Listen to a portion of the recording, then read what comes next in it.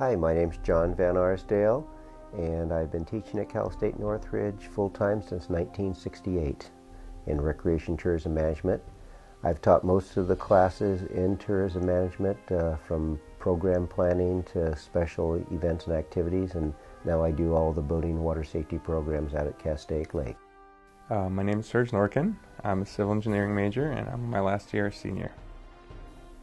I just enjoy the out of doors and I enjoy being on the water. It's just a very relaxing, very peaceful thing to do.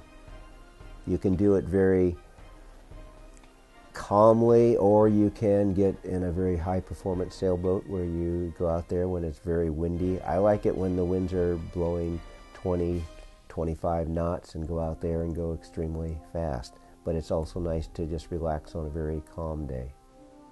Yes, I actually started sailing uh, before I took this class. Um, am taking this class just for fun and practice my skills.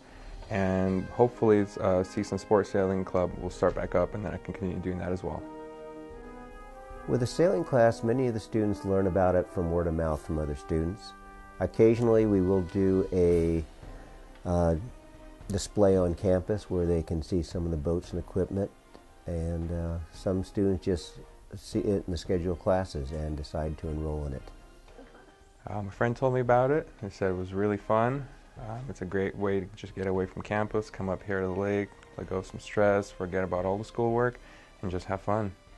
Um, we learned everything from small uh, uh, sailboats that we had for one man up to big Lido boats, which carry up to six people. We had time that we used windboards. Um, so it's a whole wide range of activities that you learn, and it's really fun every student should come up here and take it. Well, currently the classes are offered on Fridays from 1 to 4.